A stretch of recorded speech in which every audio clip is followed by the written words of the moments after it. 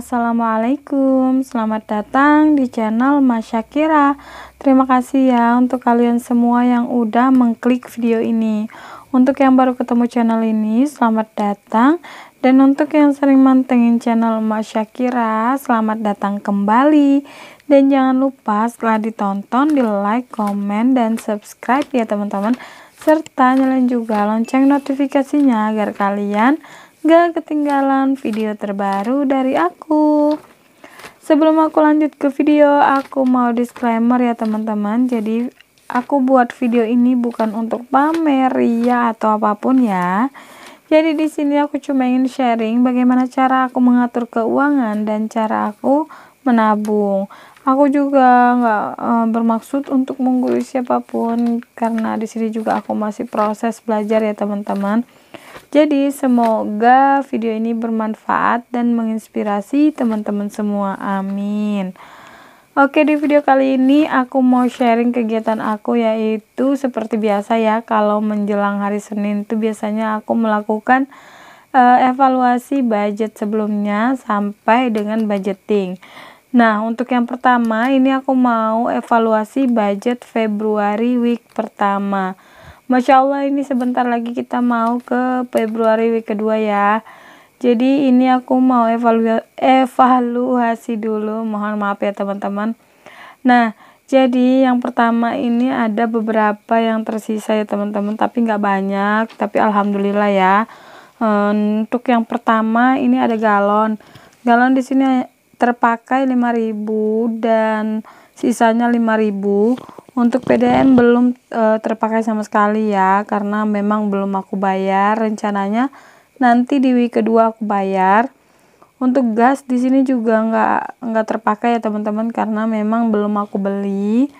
Untuk BBM di sini udah habis ya teman-teman beli be, beli bensin kemarin karena lumayan ya bolak-balik. Karena juga di tempat keluarga aku tuh ada acara keluarga jadi ya bolak-balik itu lumayan memakan bensin banyak. Nah untuk groceries di sini habis total ya teman-teman. Kemarin itu 300 ribu aku tambahin jadi di sini habis. Terus untuk IndiHome di sini nggak terpakai sama sekali ya karena belum bayar. Untuk listrik ini ini terpakai ya teman-teman. Aku salah nulis harusnya terpakai 100 ribu sisanya nol ya di sini aku di sini aku salah tulis untuk weekly hab, uh, habis ya sisa 5000 untuk beras ini masih ada sisanya. Untuk jajan arah habis sama sekali dan untuk suntik KB dan iuran sampah juga habis ya teman-teman. Karena aku udah suntik dan juga aku udah bayar sampah ya karena kemarin sekitar tanggal 7 aku bayarnya. Nah, gimana nih dengan teman-teman semua? Apakah sudah budgeting atau belum? Ayo, kalau belum, ayo kita sama-sama budgeting kita mengatur keuangan kita supaya lebih baik lagi ya teman-teman. Nah jadi di sini yang tersisa cuma 10.000 Masya Allah. Ya nggak apa-apa ya walaupun 10.000 bisa kita gunakan untuk saving nanti di week kedua ini. Karena aku juga nggak terlalu berharap lebih ya untuk sisa uang mingguan ini karena memang menurut aku ngepres ya apalagi sekarang itu semuanya serba mahal tapi nggak apa-apa semuanya disyukuri aja semoga rezeki kita semakin lancar ya teman-teman. Amin. Oh iya aku juga mohon maaf ya teman-teman kalau misalnya suara aku terdengar agak serak karena di sini juga aku lagi batuk. Dan juga uh, tenggorokanku lagi sakit ya teman-teman. Ini aku paksakan banget supaya bisa voice over karena memang uh, untuk ngomong aja tuh rasanya berat banget. Tapi nggak apa-apa semoga ini uh, aku ngomongnya jelas ya teman-teman Oke lanjut. Untuk Februari week kedua di sini aku budgetkan kemarin itu seharusnya 380 cuma ada yang aku kurangin jadinya 275.000 aja ya teman-teman sama gift jadinya 285.000 untuk grocery sebenarnya aku budgetkan di sini uh, eh, 50.000 ya teman-teman. Tapi eh 100.000 tapi kemarin itu aku uh, pindahkan ke budget week pertama ya teman-teman jadi habis. Nah untuk yang pertama galon 10.000 ini tuh untuk beli galon ya. Kebetulan di rumah galon tuh ada dua. Jadi ya satu minggu tuh kurang lebih sekarang sih dua hampir dua galon ya teman-teman. Karena untuk aku suami dan anak aku tuh kuat banget dalam minum air putih. Tapi nggak apa-apa ya teman-teman Nah untuk PDAM ini aku tambahin 20.000 karena aku mau bayar di minggu ini untuk tagihannya.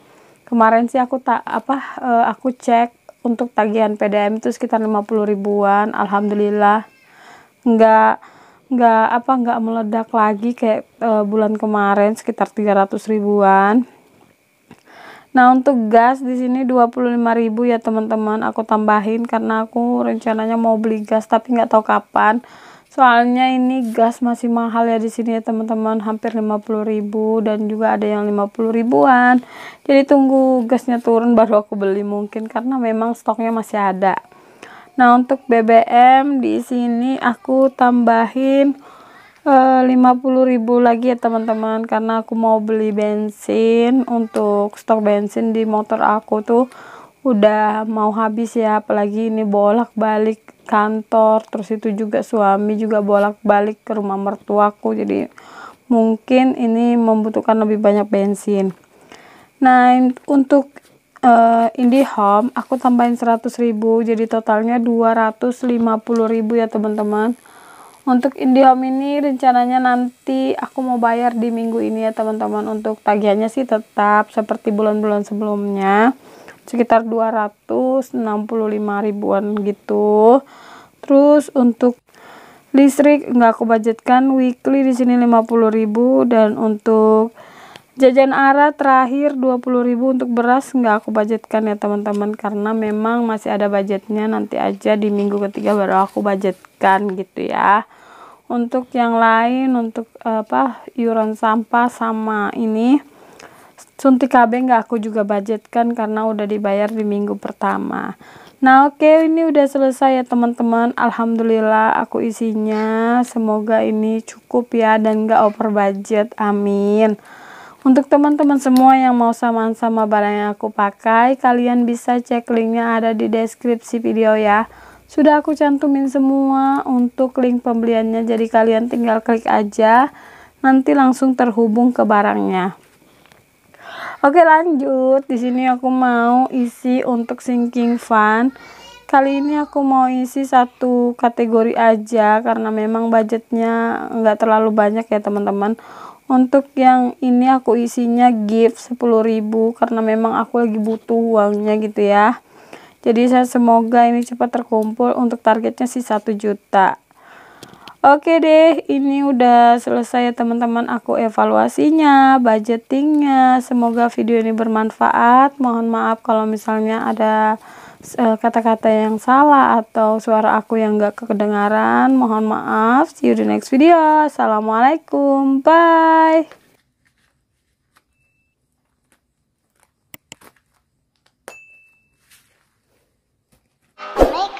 Coffee.